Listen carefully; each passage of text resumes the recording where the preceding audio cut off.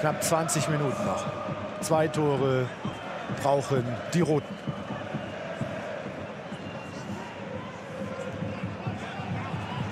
Juan Douglas Costa. Der könnte kommen! Und der kommt! Robert Lewandowski!